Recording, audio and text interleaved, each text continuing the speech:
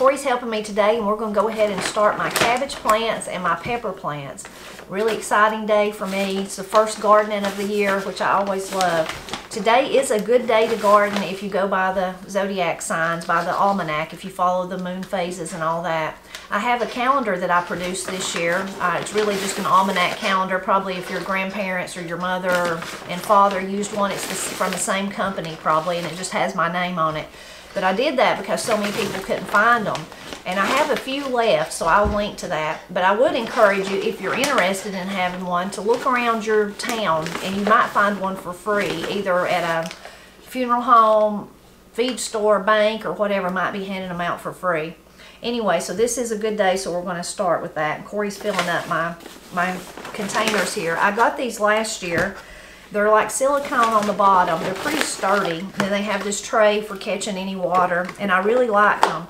I got them. I got these at Tractor Supply. I'm sure other places have them. And the brand of them was Burpee. The Burpee company made them, and they worked really well. And I like the fact that they're they're sturdy enough that I'll be able to use them for several years.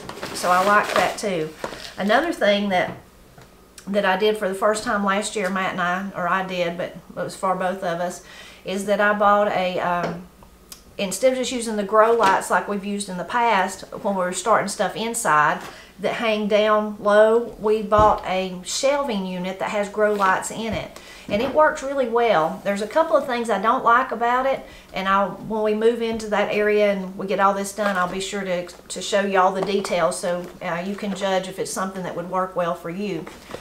We're lucky that we have a greenhouse, so when it comes gets a little bit warmer, comes time for tomatoes, we will start all of those in the greenhouse, and that's so much easier because the sun can do its thing and all the mess and the dirt like we're making today is out there instead of in here.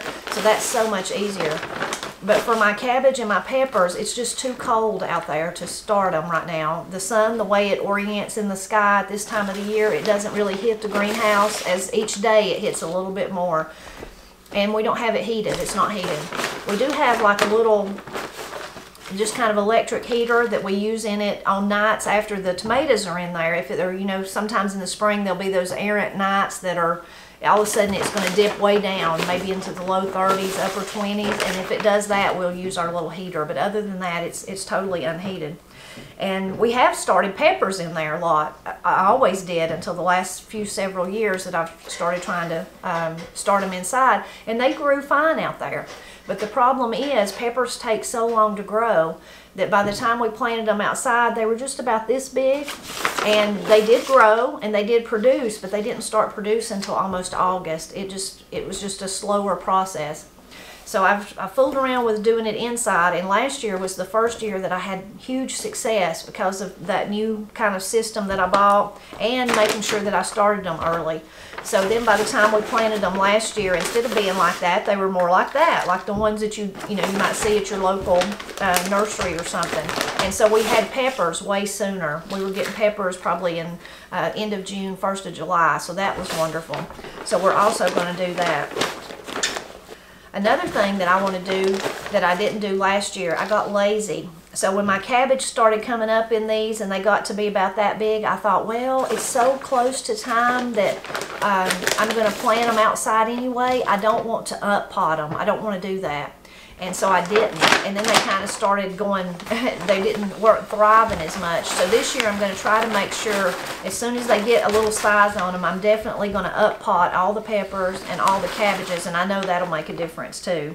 I think Corie's about to run out of out of soil, but we've got some. And talking about the soil, um, I'm by no means an expert on any of this, on anything. I'm just an avid gardener that's been gardening since I was a little girl, and over the years, especially since I've been married, I've found out what works best for me.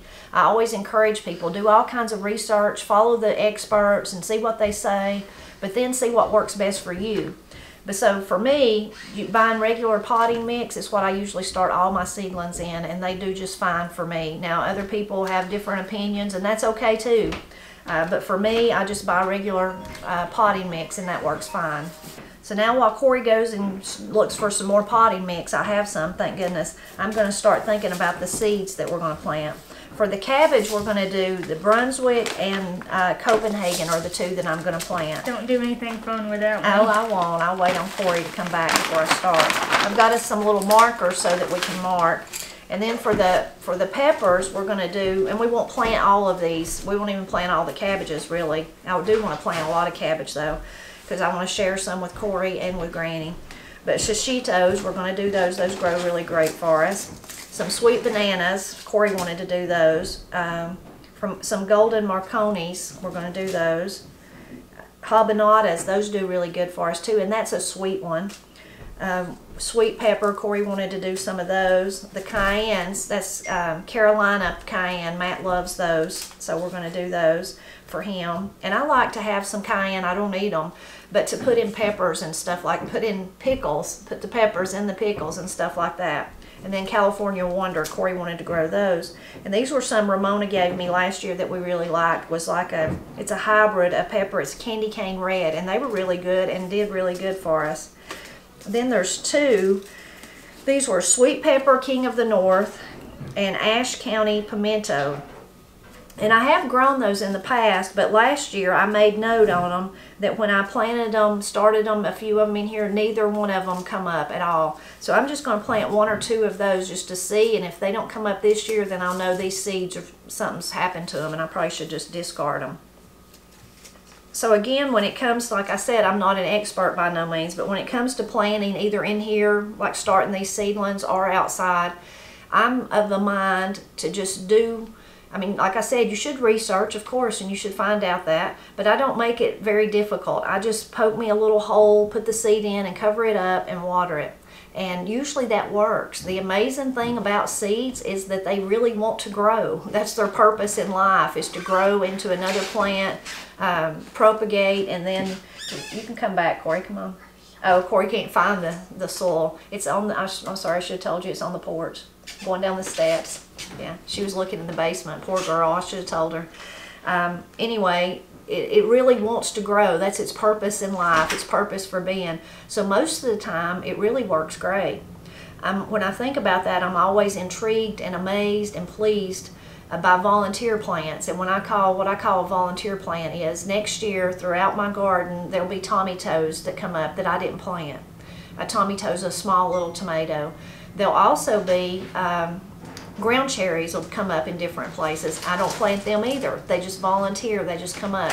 Sometimes I might have a pumpkin or something. I'll have watermelons probably. So those volunteers, they have literally laid out there through the cold and the heat and the, you know, back and forth, the rain, the little bit of snow we've got, all out there unprotected. Maybe, you know, something's, a dog or something's dug around them and then they still manage to come up. So that's how amazing seeds are it almost makes me wonder uh, every year what if I went outside and just plant just threw everything down? Would it then would it you know like in the fall and then would the next year would it all come up?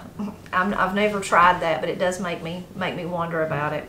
So now that Corie's found the dirt we're going to start putting the seeds in so I'm going to start with this one here that Corie's filled for me. My The soil is another thing. Some people go ahead and wet their soil. This is a little damp, but we didn't purposely wet it. It was just damp because that's just, it, it's how it was. Outside. Been outside, sitting outside. But we will water them good. So let's do with the, let's start with the cabbage in here, Corie. So you want to write, um, write me a little thing there. Let's try the Brunswick. Let's try that. And I guess I'll plant a whole thing full of Brunswick someone bought me, Corie or Katie one bought me a little, one of those little um, seed planter things for little tiny seeds like this, but I swear I just can't use it. I'm just, I don't know, probably just because this is what I've always done, is that I just, it's hard to break old habits, I guess, or I don't know. Just after I learn how to do something, even if I know there's a better way, sometimes it's hard for me to switch my make my mind realize that and try something different. And that's a fault of mine. I shouldn't be like that. That's good, yeah.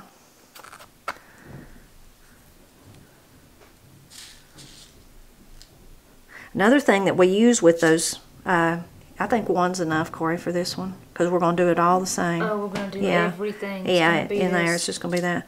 Another thing is that we use uh, little heat mats to get them started. And I do think that works really helpful, too.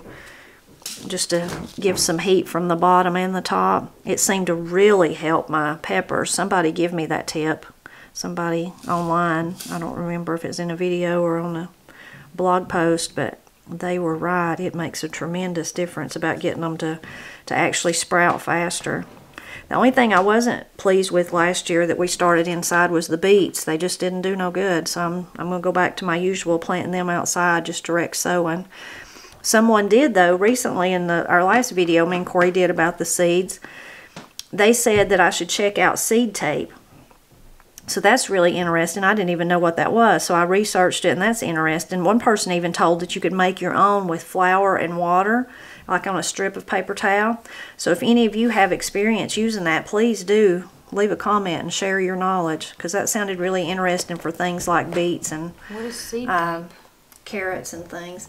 So it's like, um, think of it like, because little bitty seeds like this are so hard to space out if you're direct sowing them outside in the ground, you know, and you might drop three or four here and one and three or four. So you put them, it's like sticky.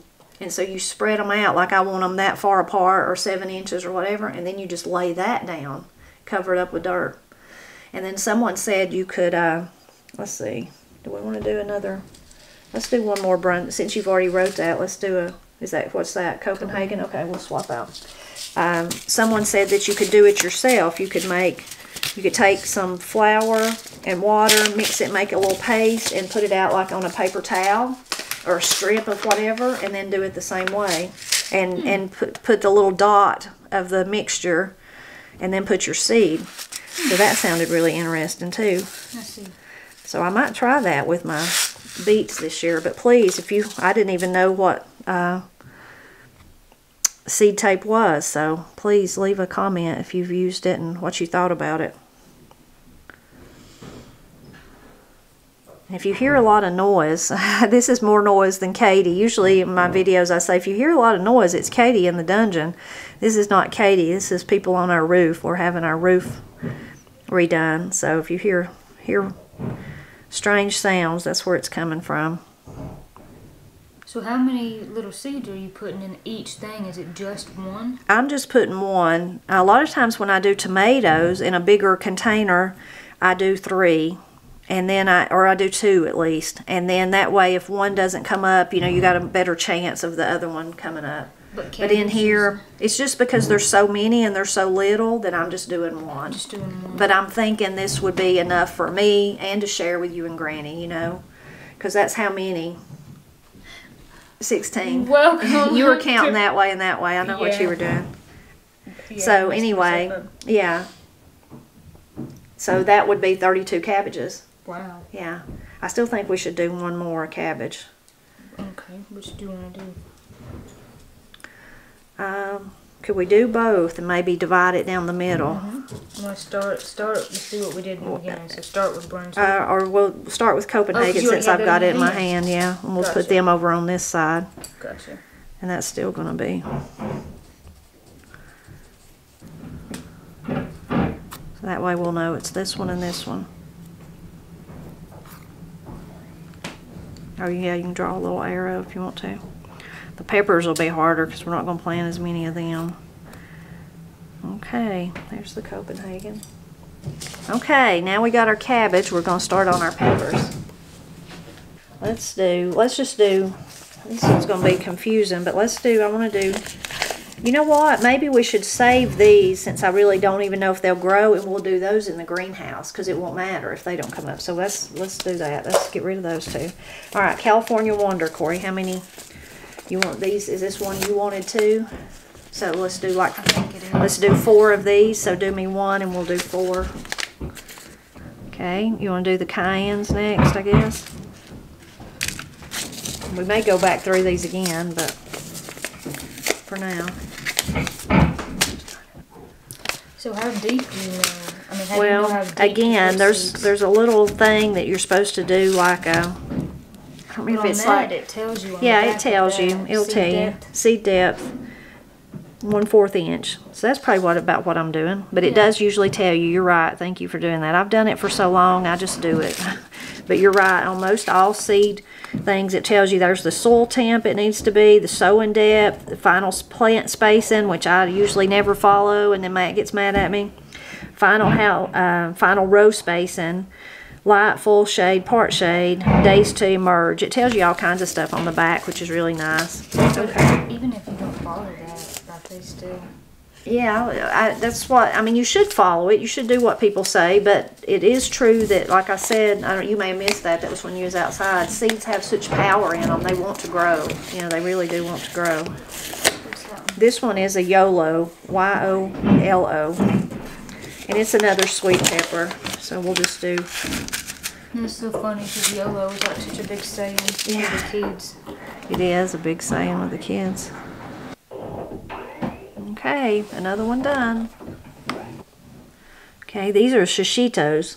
They're kind of a a long um, green pepper. They're sweet and they grow so well for us. They just hang. I mean, they're just beautiful. We've grown them for the last two years, and they're really good flavor. They freeze good and um, are good in, in pickles and everything. Just really pleased with those. Okay, Corie, what about a habanada? And again, that one did really good for us. I don't even know how many seeds I have left of it. Oh, the sadness. There's not four in there. I definitely need to buy those. There's only going to be two of them. I need to replenish my supply. I should have saved some pepper seeds. One reason I don't really save pepper and tomato seeds is that we grow our stuff so close together and things that easily cross-pollinate, like peppers and tomatoes, um, are hard to save seeds from. And other than like Tommy toes, they seem to save pretty good. But because we grow things so close together, they almost always cross-pollinate. So what would happen if you collected a seed Um, from one of them that had cross pollen? It would still be edible, I'm sure, and it'd be good, and you should do that and grow it if you wanted to, but it would just not look the same. It might look, you know, different. Like I thought I was saving, and I did for many years, save a little Tommy toe, like a pear-shaped tomato called sausage, cream and sausage.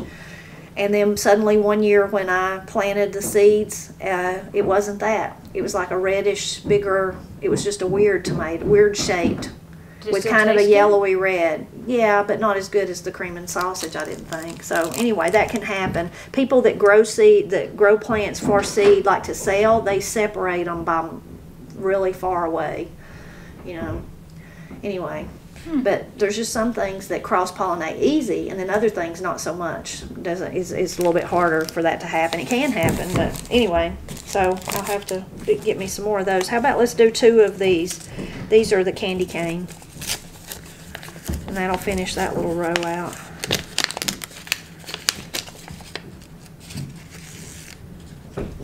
And I think that was all that was in there, so that worked out good. No, there's more in there, there's more, so we'll save those. this whole row? Uh, no, this, put it right there, there you go. You like the so the cream and sausage was good? Yeah, that, you remember that, we grew them for years. That was like the little yellow, uh, long-shaped yellow ones, but just about that big. They were really sweet. Yeah, I seen like them in the those. seed catalog when I was. Uh, and I bought seed, so now I have seed. So like I grew them last year again from from new seed instead of my seed that had uh, cross grow 'em this pollinated. year? Uh, yeah, I can grow them this year. You need some of them. So let's do uh, some of these golden, Golden ma- Marconi. I almost said macaroni. yeah, golden macaroni. And there's a red, but I guess when me and you were picking them out that day, you said you wanted, you said go with golden. Oh, yeah, because the gold's pretty. Yeah. And they got really big for us last year. I planted red and gold, and they were they're good ones too. They're sweet and do pretty good. Marconi macaroni. Yeah. Okay, we've got two more trays left, but we're thinking we're going to wait on those. And Corie may, she wants to do some at her house too, so she may take those home with her.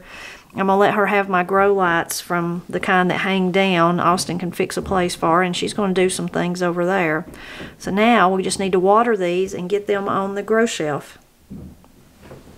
Yay. So this is the little shelving unit that I bought.